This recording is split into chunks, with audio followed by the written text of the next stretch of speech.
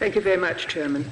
Ladies and gentlemen, I speak to you as a long-time supporter of the Iranian resistance and a strong supporter of women's rights in both Iran and Iraq. I believe that Ashraf is the most significant factor in confronting the religious and terrorist dictatorship in Iran that is moving towards acquiring a nuclear bomb.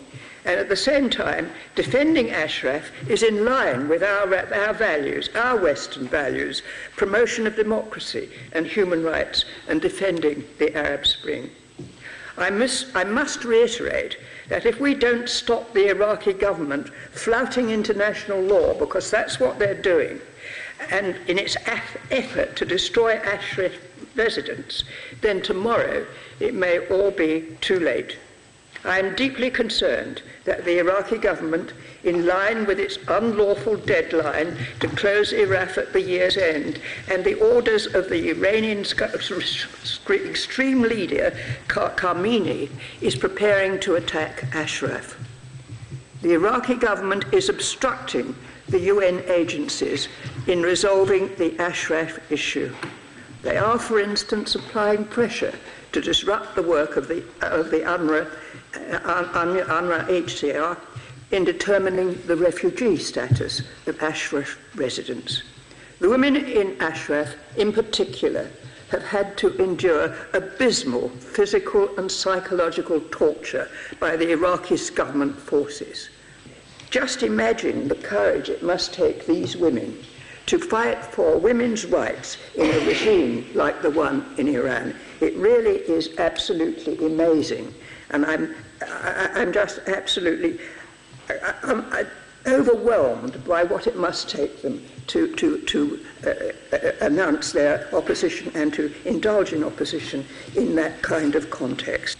We must do everything we possibly can to try to prevent this from, from happening.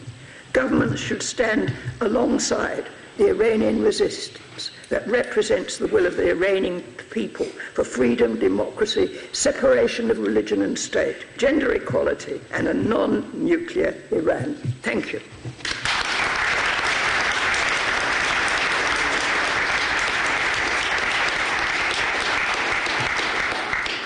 Uh, thank you, my Lord. Uh, can I say how good it is to be with you, ladies and gentlemen, uh, and to uh, share again a platform with my distinguished colleagues.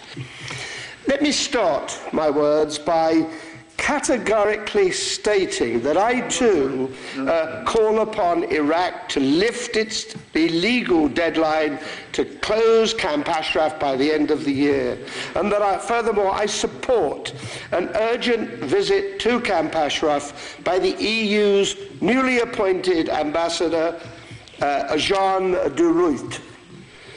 But I would like to concentrate my remarks on the values of Ashraf itself and question why it is that the mullah's regime in Iran would like to eradicate it. Let us ask why the fate of 3,400 members of the Iranian opposition group, the PMOI, in the middle of the barren desert is so important to them.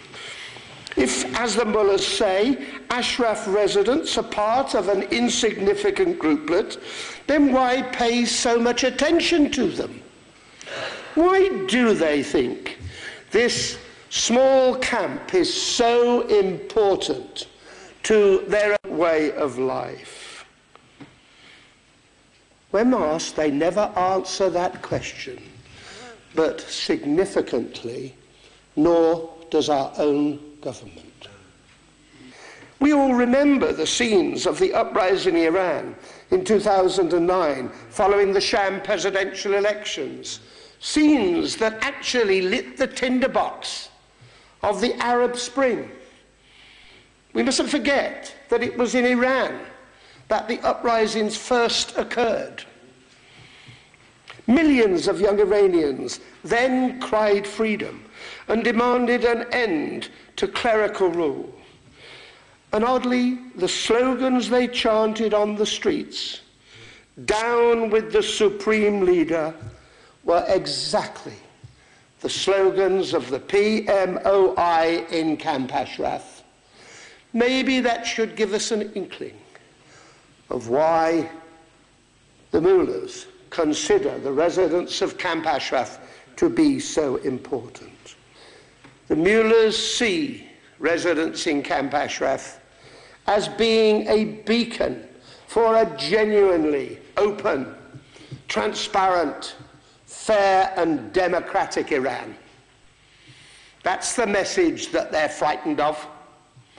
That's the thing that most bothers them about this small camp in the middle of a very harsh desert. And it's about time we impress that also upon our own Foreign Secretary. And as a member of this House, the Mother of Parliament, as a supporter of freedom and democracy all my life, as we all are, brought up to believe in the value of the individual within society. The truth is that Ashraf has turned into a beacon of hope and a bastion of freedom for the millions who demand freedom, human rights and democracy for Iran. And I want to urgently press my own government and to press Foreign Secretary Hague to support an urgent visit to Ira Ira Ashraf by the UN's envoy, as I said in the, my opening remarks. But I also want to press him to support the stationing of a permanent UN protection team at the camp prior to the withdrawal of US troops from Iraq at the end of this year. That's a vital request. Uh, and we need to impress it upon them with all the strength we can bring to bear. The Foreign Secretary should further be pressing Iraq to lift its unlawful siege of Ashraf and to cast aside its unlawful deadline of closing Ashraf forcibly at the end of the year. And we need the UNHCR to urgently recognise all Ashraf residents as refugees under international law. We need William Hague to change the government's stance um, and to begin to recognize, support, and even give some help to the main opposition group of the Iranian uh, regime.